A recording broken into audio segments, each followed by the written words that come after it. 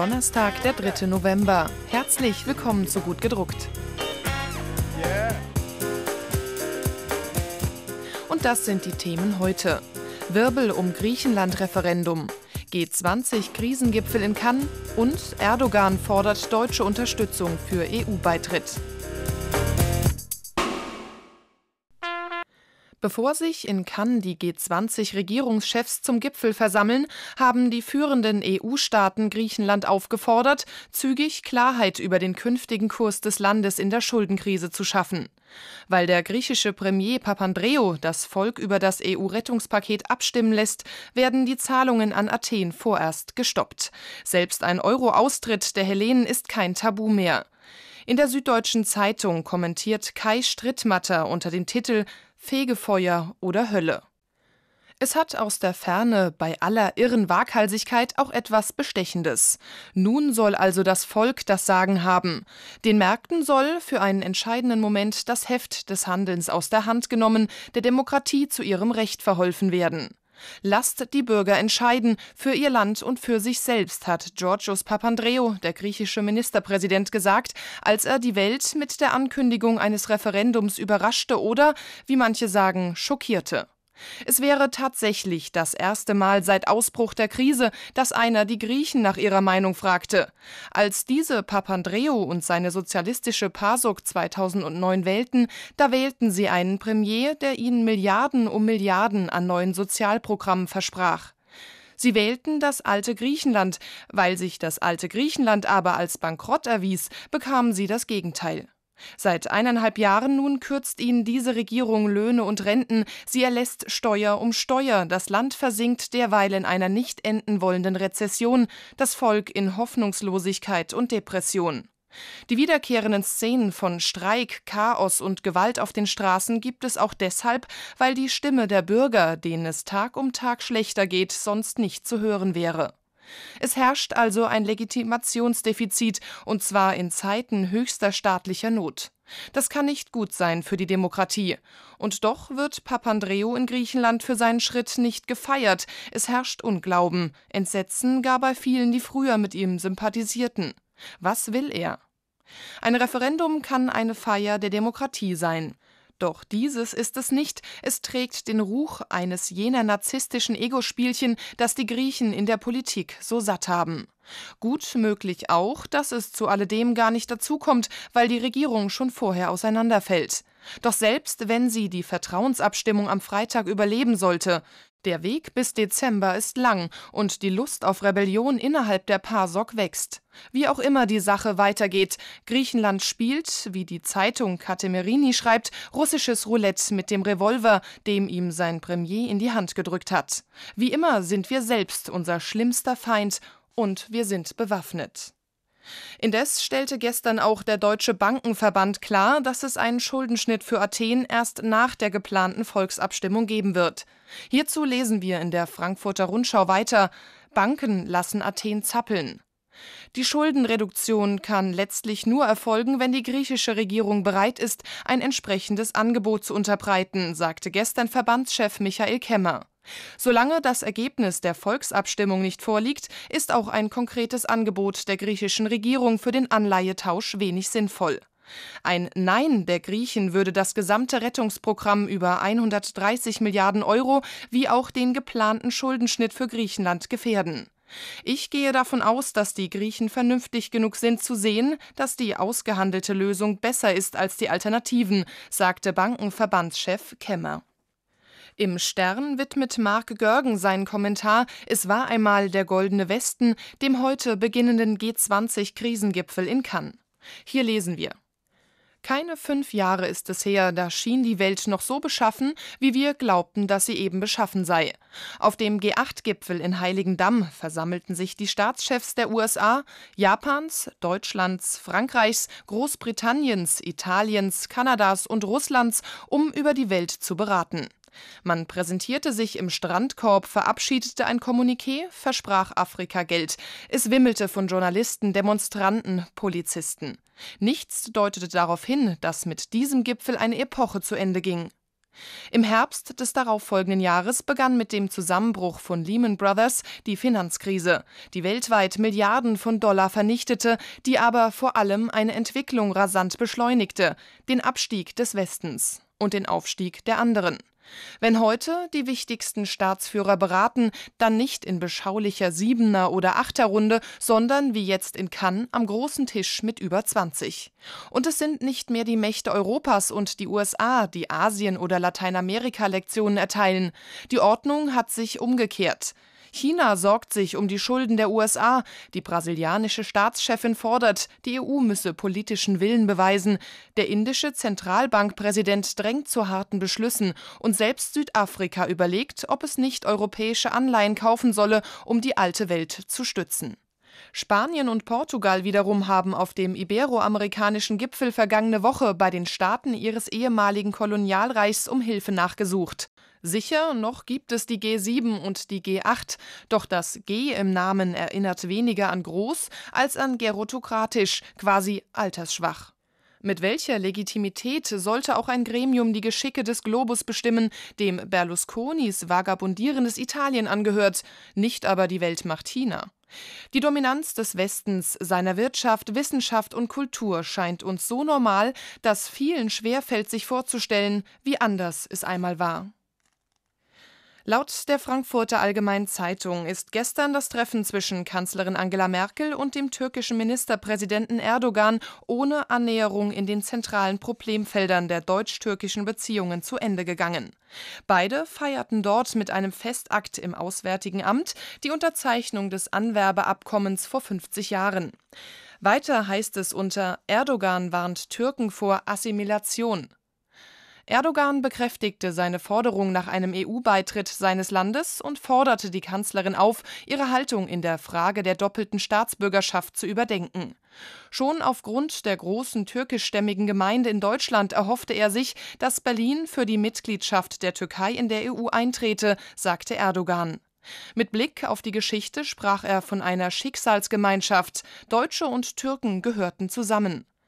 Frau Merkel umging das Thema EU-Beitritt weitestgehend und verwies nur auf das sogenannte Ankara-Protokoll zum Assoziierungsabkommen zwischen der Türkei und der EU, das von der Türkei bislang aufgrund des Zypern-Konflikts nicht vollständig umgesetzt wird. Zum deutschen Staatsbürgerschaftsrecht sagte sie, es bestehe kein Zusammenhang zwischen gelungener Integration und dem sogenannten Doppelpass.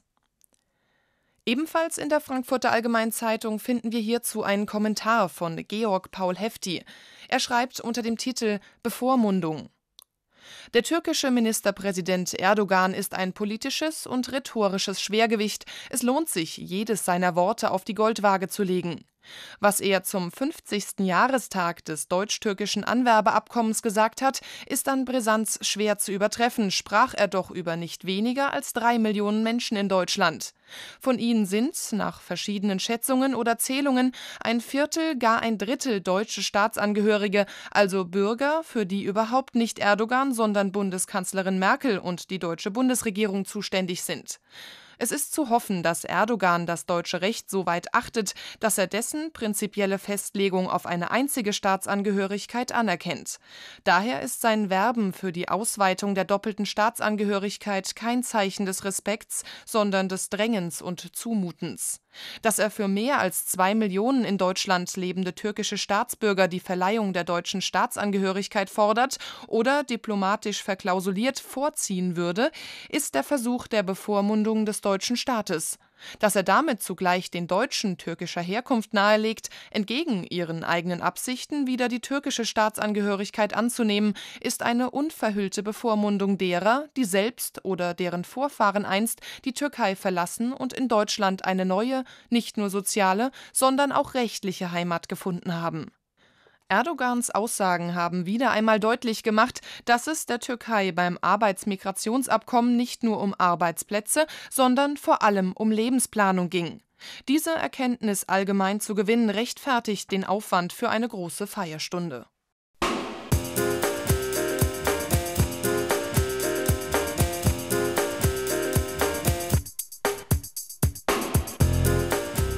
Wir kommen nach Rheinland-Pfalz.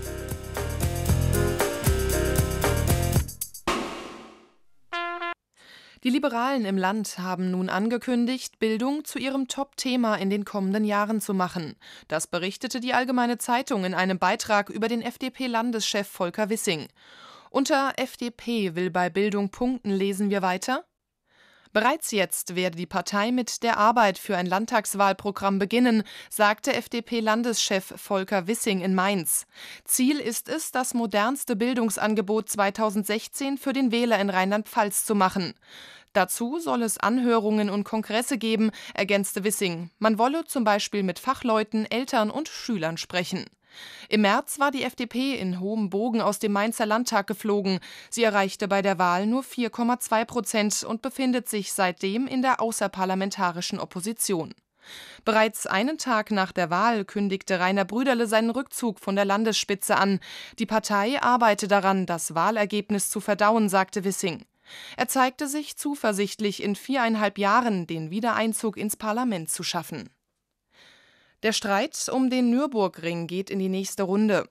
Die Forderung der Nürburgring-Betreiber nach einem finanziellen Entgegenkommen des Landes ist in der Regierung von Rheinland-Pfalz auf schroffe Ablehnung gestoßen, heißt es in der Rheinpfalz. Und weiter lesen wir in dem Kommentar von Karin Dauscher: Dicke Arme, leere Kassen. Von einem Millionengrab am Nürburgring zu sprechen, wäre wirklich fehl am Platz. Über Gräber wächst Gras, sie sind Orte der Ruhe. Der Nürburgring ist eine aktive und laute Geldverschiebungs- und Vernichtungsmaschine. Alle Geschäftspartner haben in der Vergangenheit ihren Reibach am Ring gemacht und die privaten Betreiber Kai Richter und Jörg Lindner wollen nicht die ersten sein, die ins private Risiko gehen. Dass die Betonklötze namens Boulevard und Freizeitpark Ringwelt samt stillstehender Achterbahn Investitionsruinen sind, hätten die beiden vor der Unterzeichnung der Verträge wissen können. Sie haben sich auf das Abenteuer eingelassen, sicher in der Erwartung, das Land springt in jede finanzielle Bresche. Die Landesregierung wehrt sich jetzt, macht ihrerseits dicke Arme. Aber was soll das, wenn Wirtschaftsministerin Lemke stolz sagt, sie zahlt nicht, wenn das Geld ohnehin über das Innenministerium verteilt wird? Ein ehrliches Spiel gegenüber den Steuerzahlern sieht anders aus. Ob es also Muskeln sind, die die dicken Arme machen, oder nur Pudding, wer weiß das schon. Ebenfalls ein Thema, das uns schon seit längerem beschäftigt, die Debatte um den Flughafen Hahn. Die Allgemeine Zeitung schreibt unter Ryanair will 1,2 Millionen Euro vom Land. In der Debatte um den Flughafen Hahn geht es Schlag auf Schlag. Nach Informationen dieser Zeitung fordert der irische Billigflieger Ryanair vom Land Rheinland-Pfalz für Werbeausgaben aus dem vergangenen Jahr rund 1,2 Millionen Euro. Allerdings sind die Gelder dem Vernehmen nach noch nicht geflossen.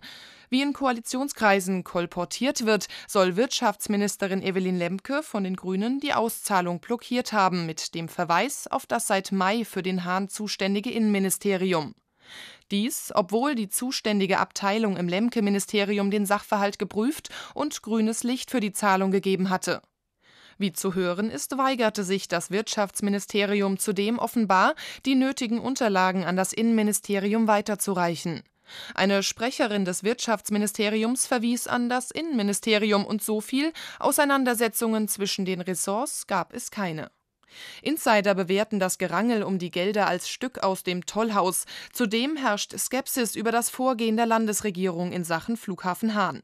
Wie diese Zeitung berichtet hatte, will das Land noch in diesem Jahr sowohl Gesellschafteranteile als auch Betrieb des defizitären Flughafens ausschreiben.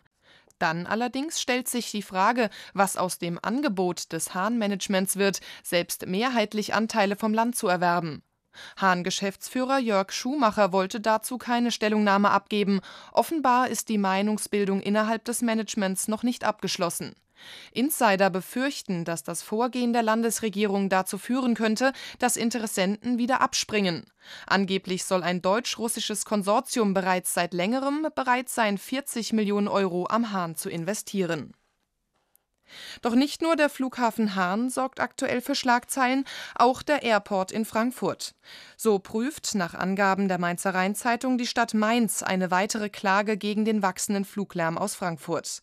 Unter gegen Fluglärm die Geißel über der Stadt heißt es. Der Kreis Mainz-Bingen hat angefragt, ob Mainz sich der Klage von mehreren Kommunen gegen die neuen Flugrouten anschließen will. Vor allem die Südumfliegung beschert mehreren Mainzer Stadtteilen mehr Lärm. Darüber werde derzeit mit dem Anwalt der Stadt beraten, berichtete Umwelt- und Verkehrsdezernentin Katrin Eder von den Grünen im Stadtrat, der gestern einstimmig eine Resolution auf den Weg brachte. Titel gegen die Steigerung des Fluglärms nach Inbetriebnahme der neuen Landebahn Nordwest.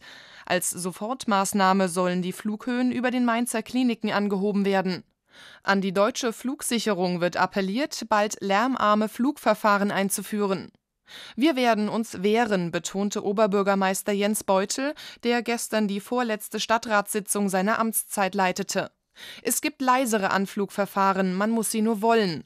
Die Geißel über der Stadt werde erst jetzt so richtig spürbar, nachdem die neue Landebahn am 21. Oktober offiziell in Betrieb gegangen ist. Täglich erreichten ihn deswegen viele Mails und Nachrichten, das sprengt alle Dimensionen. Eine gute Nachricht zum Schluss. Der rheinhessische Arbeitsmarkt hat sich im Herbst 2011 weiterhin günstig entwickelt. Die Allgemeine Zeitung titelt Quote erstmals unter 5 Prozent.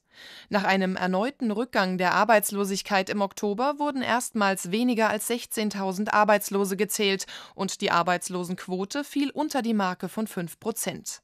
Allerdings war der Rückgang größtenteils dem Einsatz von Maßnahmen der aktiven Arbeitsmarktpolitik zu verdanken und betraf fast ausschließlich Arbeitslosengeld-II-Empfänger. Wir kommen nun zu unseren Veranstaltungstipps mit vielen Ideen für Ihre Freizeit. Die evangelische Erlösergemeinde Mainz-Kastell zeigte in Kooperation mit der Galerie Mainzer Kunst die Ausstellung Den Augen ein Fest. Präsentiert werden Malereien von Juliane Gottwald. Das Besondere an dieser Ausstellung, die Malereien hängen in der Kirche der Erlösergemeinde und werden dort präsentiert. Juliane Gottwald malt großflächige, farbenfrohe Früchte und Blumen, wie zum Beispiel Astern, Tulpen und Zwetschgen oder sogar einen Kreppel.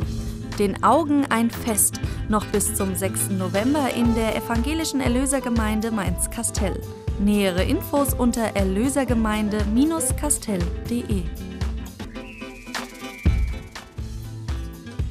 150 Jahre freundschaftlicher Verbindung zwischen Japan und Deutschland sind auch für das Theodor Zink Museum in Kaiserslautern Anlass, die Kultur des Partnerlandes zu präsentieren.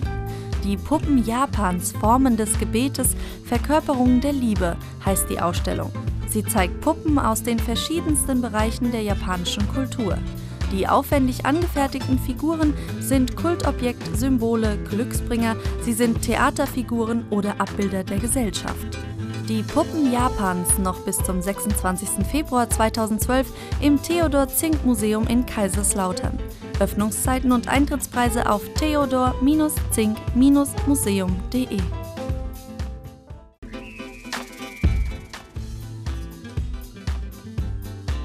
The Eye is a Lonely Hunter Images of Humankind. Das ist der Titel des vierten Fotofestival Mannheim Ludwigshafen Heidelberg.